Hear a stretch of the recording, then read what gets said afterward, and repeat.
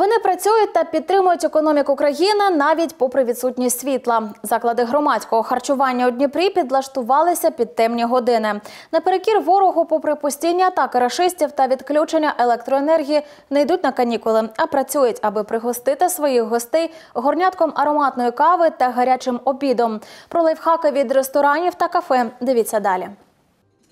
Затишний невеличкий італійський ресторанчик у Дніпрі відчинив свої двері для відвідувачів ще 26 років тому. До цього каже засновниця ресторану пані Олена. Тут був вугільний склад. Сьогодні тут частують своїх гостей і гарячими стравами, і напоями. Від початку війни кажуть, не зачинялись ні на день. Їх не налякають відключенням світла. Обслуговувати гостей допомагає генератор. Ми придбали термобокси.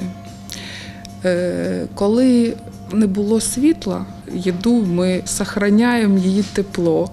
Коли включають світло, ми готовимо. І так от ми перебивалися. Е, Ну, генератор нам допомагає в цьому.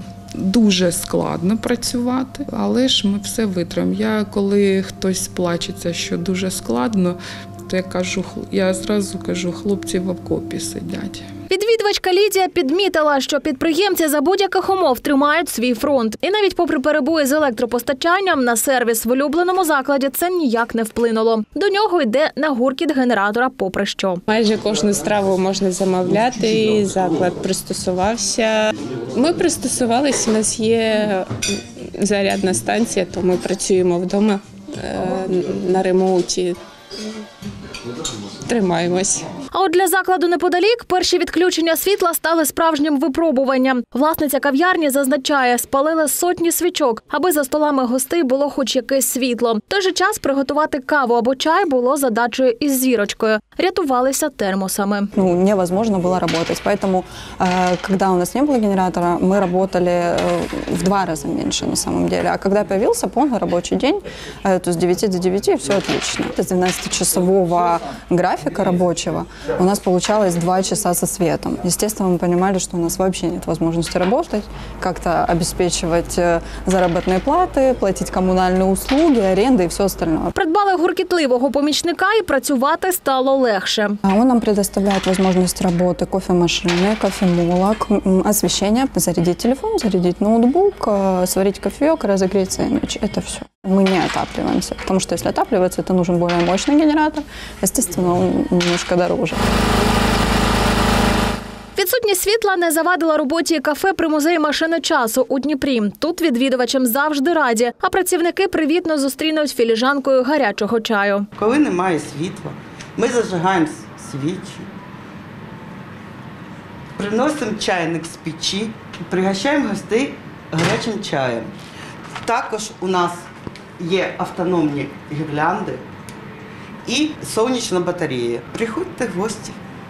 Ще в одному ресторані роботу не припиняють навіть попри суцільну темряву. Столи відвідувачам підсвічують свічками та гірляндами. Кажуть, це створює навіть романтичну атмосферу в закладі.